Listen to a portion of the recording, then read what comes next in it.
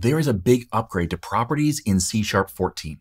In this video, I'm going to show you how to use the new field keyword, as well as what to do if you have a naming conflict. Now, for most of my training, I work to give an in-depth perspective on technology. But sometimes you just need a quick answer to the question, how do I do this? That's why I created this 10-minute training series. So let's look at this quick demo I have in a console application. I've created a person model Pretty simple. It has a first and last name. Both are set to required. It has age, and then it has demo. Now, first, last name, and age are auto properties. Demo is a technically a full property with just a getter, but it has a private backing field called underscore demo. So in program.cs, I instantiate the, uh, the P instance with first and last name of Tim and Corey, and then I ask for the last name, the age, and the value of demo for this person. I do have a catch here because it will be throwing exceptions. I'll show you why in just a minute, but let's first run this and see how it runs. So it says last name is Corey, the age of the person is zero. Zero is the uh, default integer, and the value of demo is test. So far, so good. But what happens if we have a user that gives us bad data? For example, what if in our try, I say last name, oh, sorry, p dot last name equals null. Now, last name is required.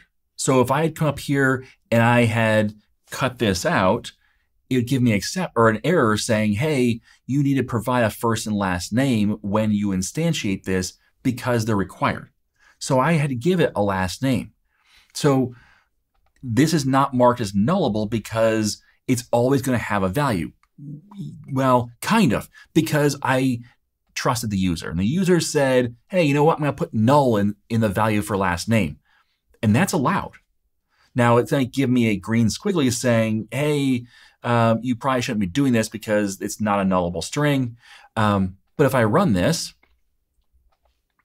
the last name is, and it's blank because it's actually null. And the age of the person is zero, and the value of demo is still test. So that's a problem. Now, it used to be in .NET, or actually C Sharp 13 and before.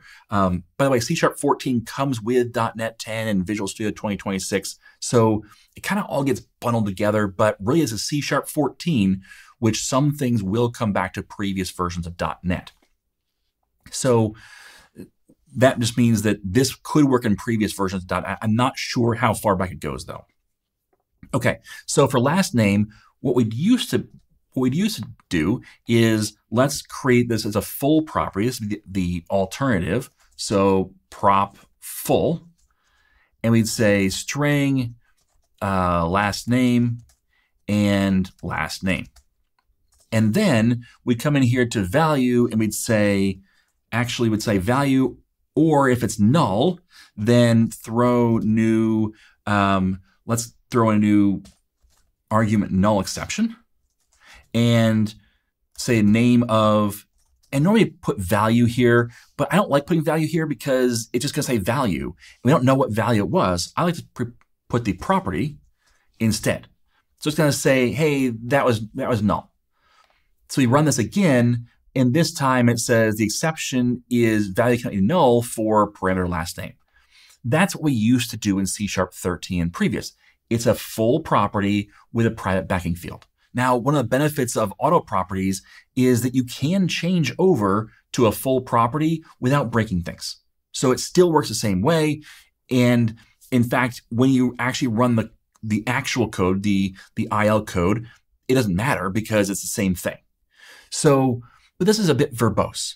So what instead we have now with C Sharp 14 is we don't have to abandon the auto property. We can just abandon part of it.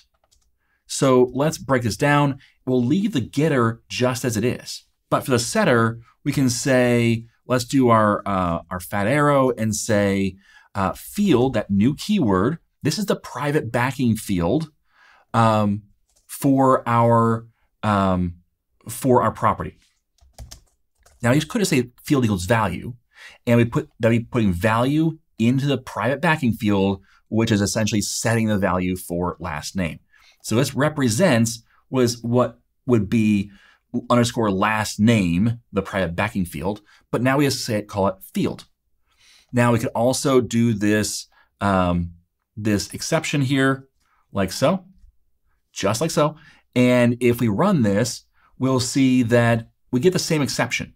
It works the same way.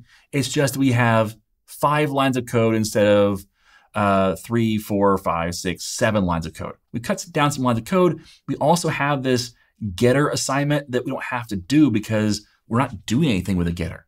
So this provides an intermediary step between an auto property, which is one line, and a full property, which is up to seven or more. Um, so what this allows for is just modify the set or just modify the get if you want using this field private backing field. So this is going to be, be the private backing field for each of the properties because it's scoped to the curly braces, actually scoped to the set. Um, but it's scoped to this last name property so that if I were to say field in the first name property, I'd get the first name's private backing field.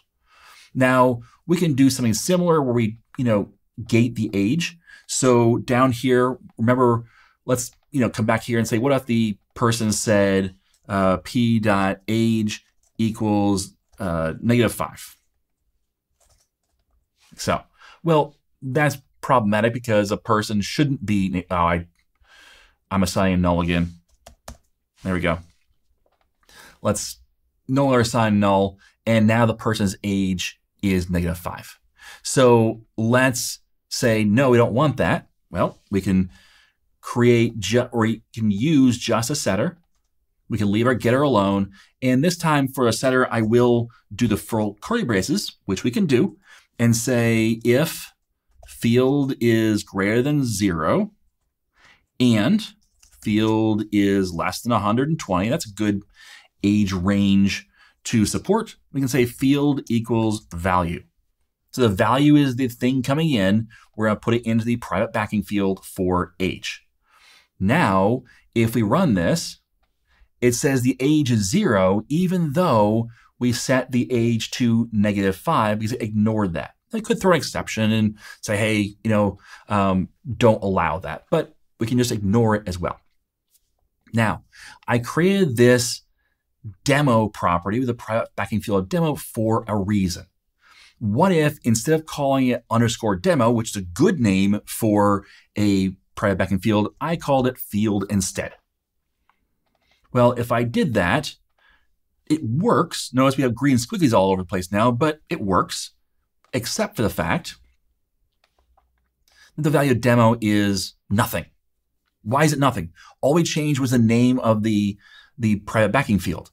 Yeah, no, we actually used this as this is now the field keyword, which is the private backing field that gets built by um, the compiler. And so it's not actually the same as this variable called field.